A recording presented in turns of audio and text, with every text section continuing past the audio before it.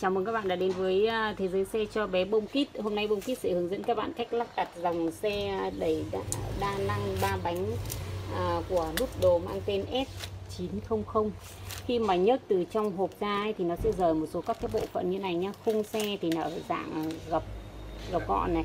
Đấy, tay có tay lái đi kèm này. Cần đẩy này. Yên này. Đôi bánh phụ này. Đây là cọc yên dự phòng chân trống và một đôi bàn đạp. Bây giờ kỹ thuật sẽ hướng dẫn các bạn lắp ráp từng bộ phận một nhé. Đầu tiên giả ra đầu tiên là mình sẽ phải mở cái khung ra. Ấn vào chốt đỏ. Ấn vào chốt đỏ phía bên dưới này. Sau đấy thì một chân thì giữ cái khung một chân thì giữ cái khung nhá cho nó nó cố định sau đấy vừa mình xoay. xoay. Nó vào. Đó nó kêu cái tạch một cái là nó đã vào khớp rồi thì làm muốn gấp thì các bạn ấn và quay ngược lại đây là hàng cao cấp của nút đồi cho nên là tương đối chắc chắn các cái thao tác ờ, làm cũng rất là mượt mà. Lắp đặt đơn giản không cần phải dụng cụ nha các bạn nhé. Tay lái này. nó có hai mức điều chỉnh tay lái. Đây là mức cao. Mức thấp. Nó có cái hạt chốt. Đây là dòng xe ba bánh duy nhất mà thiết kế tay phanh. Tiếp theo là lắp yên lắp yên thì các bạn để ý nó có cái rãnh trượt của nó nhé các bạn. Cọc yên này thì nó theo chiều yên là được. Nó sẽ có hai cái cọc yên này như kỹ thuật đang ráp là cọc à, ngắn. Nếu mà sau này các bạn ấy lớn các thì có thể thay sang cái cọc dài này nhé. Cao vít này đây tháo vít này. Sau đấy thì vít lại vào cái cọc dài này.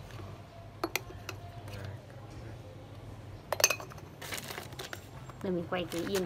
Các bạn nhìn kỹ cái yên này nhá thiết kế theo đúng tiêu chuẩn châu Âu cho nên là đảm bảo chống cong vẹo cuộc sống trong quá trình à, bé đi và đặc biệt là cực kỳ êm luôn. Sờ rất là sướng tay luôn nhé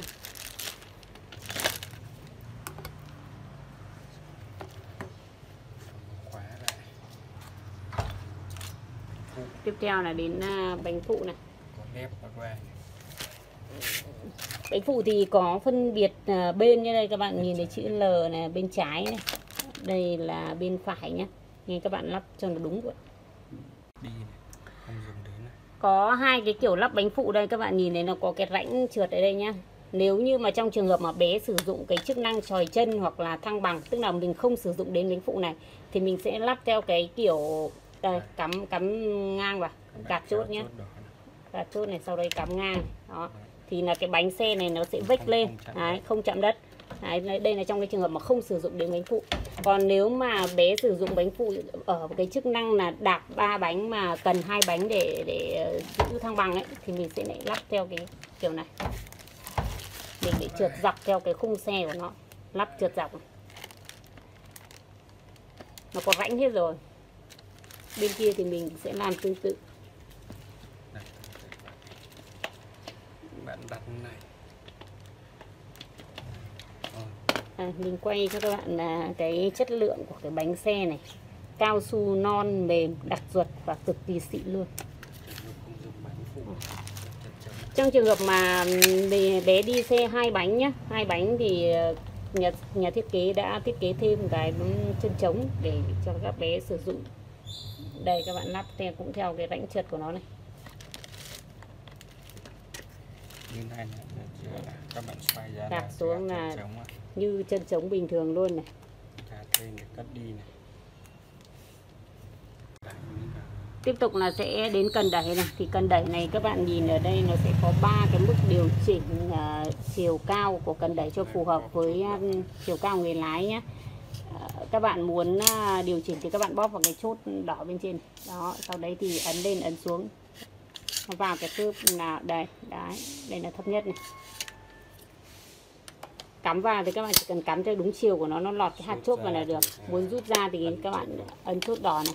Đấy ấn chốt đỏ thì nó sẽ thụt cái hạt chốt vào thì mình sẽ nhấc ra được. Rất là dễ thôi. Tiếp theo là đôi pedal. Các cái loại xe ba bánh khác ấy thì ờ, nó thường là lắp pedal ở cái bánh đằng trước. Nhưng mà riêng hàng này thì lại thiết kế khác bởi vì dòng này nó là dòng xe to và nó giống như xe đạp đấy thì cái này sẽ lắp ở giữa này. Bóp chốt ờ, bạc này xong đầu các bạn cắm vào theo đúng chiều. Có cái rãnh của nó đây nhé các bạn nhìn nhé chốt này đấy bạn có rãnh ở đây này. Các bạn phải lắp làm sao cho nó khớp với cái rãnh ở trên cái trục của nó là được nhé đó. Xe. Khi mà ráp thì các bạn nhớ là ấn chặt vào để cho nó khít vào bên trong thì mới đạp được nhé đây mình quay cho các bạn xem này dòng này là, đây nó thiết kế ba bánh nhưng mà nó giống như xe đạp xích nó có lít này. Đấy, cho nên là đạp nó rất là dễ đạp chứ nó không giống như các cái loại ba bánh mà cho các bé chỉ tập đạp ở trong nhà đâu nhá. Dòng xe này thì nó tương ờ, đương với một cái xe đạp 12 inch, phù hợp cho bé từ 2 cho tới 6 tuổi và nên mua khi bé trong giai đoạn từ 2 đến ờ, 3 tuổi để sử dụng được tất cả các chức năng thậm chí là các bạn có thể mua khi mà các bạn ấy một tuổi nếu mà các bạn muốn sử dụng đến cái chức năng cần đẩy này. Đấy chức năng cần đẩy này thì mình nên mua khi mà các bạn ấy một tuổi thôi thì mình sẽ sử dụng được tối đa các chức năng và thời gian sử dụng lâu nhất.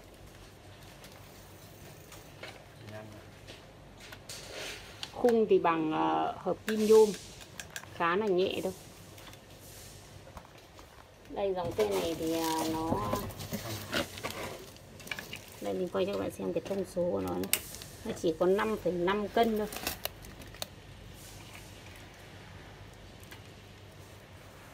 và như vậy là kỹ thuật của bông kit đã hoàn thành việc lắp đặt dòng xe S900 của Doodle. Đấy, nếu các bạn có bất kỳ câu hỏi nào liên quan đến dòng xe này thì các bạn có thể liên hệ trực tiếp tới hotline của bông kit 0989348280 thì bên mình sẽ à, tư vấn cho các bạn